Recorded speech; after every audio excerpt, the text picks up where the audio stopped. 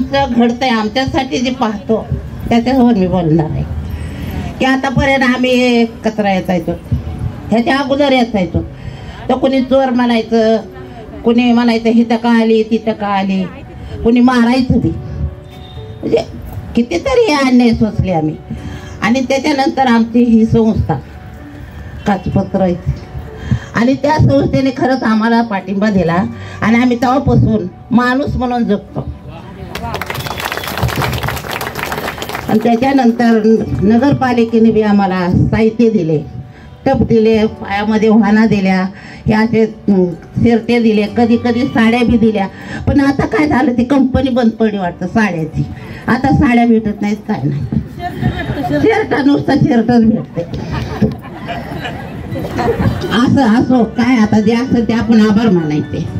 म्हणून मला म्हणायचंय की हे झेंड्याचं आणि राजकारणाचं आम्हाला काय माहिती आज तुम्ही जे आम्हाला हे परदाने दिलं आणि आम्हाला इथं उभं केलं त्याच्याबद्दल मी खूप खूप आभारी आहे.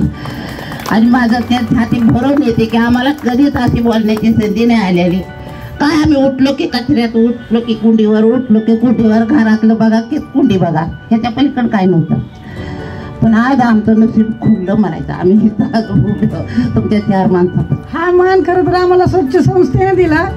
स्वच्छ संस्था आमच्या पाठीशी आहे. त्यामुळे आम्ही खंबीरपणे ताई तुमच्या बरोबर उभं आहे. बरोबर आहे. बरोबर आहे. जरा हे जास्त बोलतात कुठं मी कारण मी पहिल्यांदाच बोलते. बरं आता जास्त काय बोलत आणि ह्याच्या पुढं असेच आमच्या पाठीमागं राहा. आणि आम्ही कुण्या देवा धर्माचं कौतिक करू शकत नाही. राजकारणाचं बी नाही. आम्हाला जे कुणी पोटाला देईल ना त्यालाच आम्ही देव म्हणतो. बरं. बोला. जर ध्यानात येत नाही लय बोलायचं होतं मी. रस्ता या अभ्यास केला.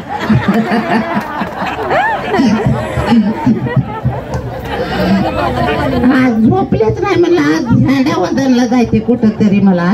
माझ्या मॅडमनं फोन केला दहा वाजता. म्हणलं आज झेंड्या वदन माझ्या.